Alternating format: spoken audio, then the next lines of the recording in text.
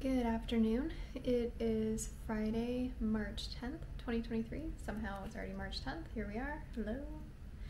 Um, my office. See all my knickknacks behind me? Call them knickknacks, but it's really things I've gotten from like my sister-in-law, my friends.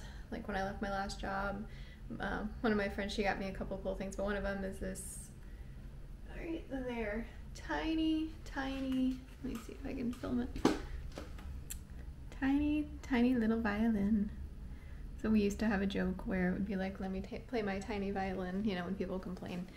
Because, um, you know, some people complain about everything. So that was kind of like, you know, a very common expression, but still, you know, inside, not really inside joke, but just a joke. So fun stuff. Anyway.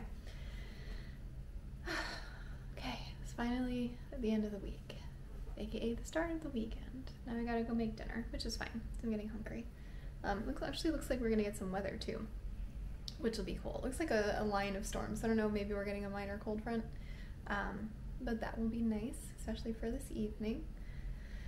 Um, I mentioned this in another one of these, but Josh recommended a book, so I ordered that and a sequel to one of the books I'm currently reading. So now I have like, I probably have seriously ten books to read, so I need to get going on that. Um, yeah, I'm excited for this weekend. I'm ready for it. Hopefully you are too. Um, yeah, I'm tired too. It's been a week. I had a three and a half hour meeting at work today, which was fine. It was very productive. Like, I got a lot out of it, but my goodness, by the end, I was just like, all right, I'm good. I'm done. My brain, my brain, it's done. Doesn't want to do anymore. Um, thankfully, thankfully the day is over. Um, really excited for this weekend. Um, I I don't know. I think a lot of people probably, or a fair amount of people do this, where you get on this kick like wanting to be artistic, and I've gotten through that kind of wave again. So I bought some stuff from Michaels that's like some watercolors and things like that. Um, small things though, so nothing too crazy. So I'm not like spending a fortune and then gonna abandon it. So it's something I really want to improve. Um, amongst a bunch of other things. So I want to read more, want to be a little more artistic, kind of away from screens um, in a sense, unless I'm like editing a little video or something. So yeah, that's kind of the, the next kind of little project. So that'll be uh, hopefully started this weekend. I would like that. That going to the beach.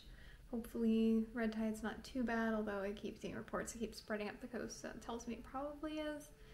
Um, yeah, Busch Gardens has their food and wine festival, so hopefully that'll be good.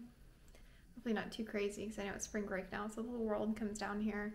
Usually that means like the theme parks though. The beach normally would be really busy, but with red tide that'll probably be curbed. Um, I but we'll have to wait and see. I don't know. Anyway, just want to say hi. So uh, I'm not sure if I'll film more. If I do, you'll see that here. Uh, that was a terrifying smile. If not, then I hope you had a great day and I hope you have a great night. And then I'll talk to you guys later. Bye.